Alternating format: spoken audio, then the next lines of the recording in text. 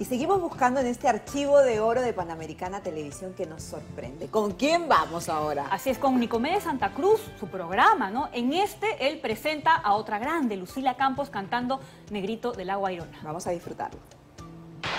Titulado Negrito de la Guairona.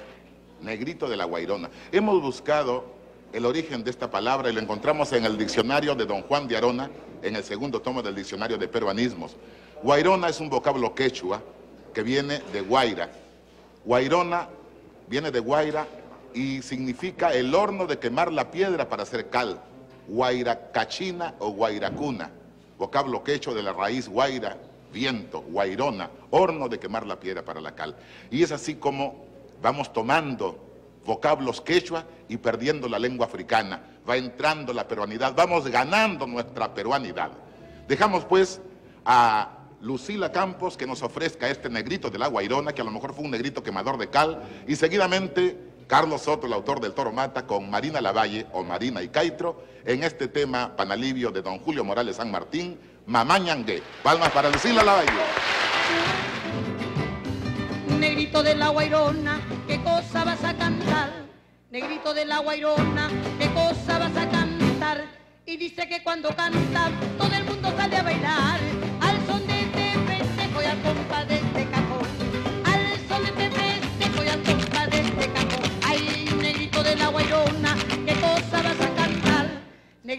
la Guairona, ¿qué cosa vas a cantar?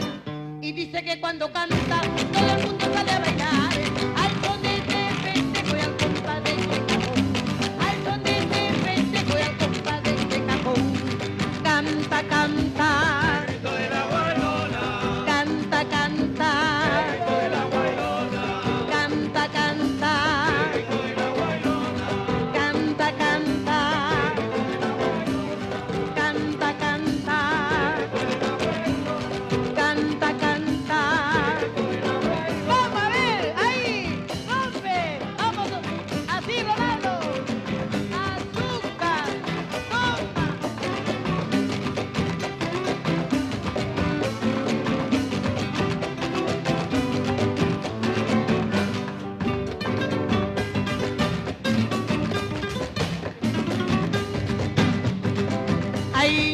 negrito de la guairona, ¿qué cosa vas a cantar? Negrito de la guairona, ¿qué cosa vas a cantar? Y dice que cuando canta, todo el mundo sale a bailar. Al son de este festejo y al compa de este cajón.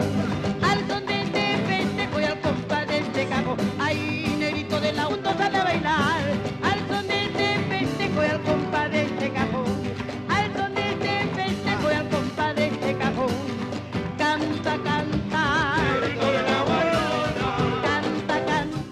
recordando a Nicomedes Santa Cruz, vamos a analizar parte del archivo histórico de Panamericana Televisión, donde relata una décima de ritmos negros del Perú. Vamos a ver. África.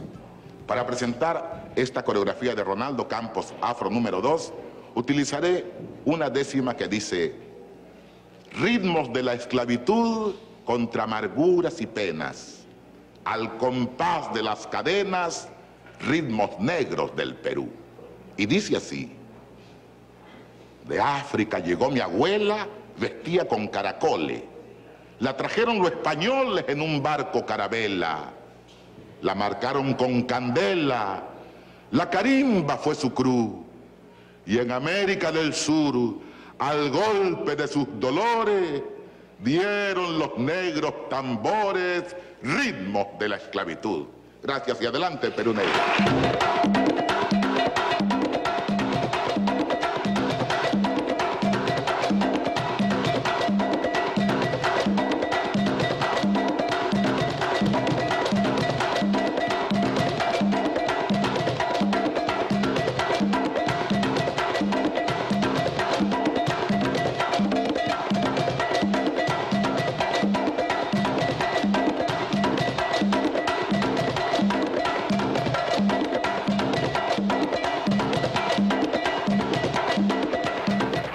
Para poder comprender lo que significa la cultura africana en África y luego en América, el análisis tiene que ser totalmente libre de prejuicios. Por ejemplo, estas danzas que acabamos de ver, dentro de su ámbito cultural africano.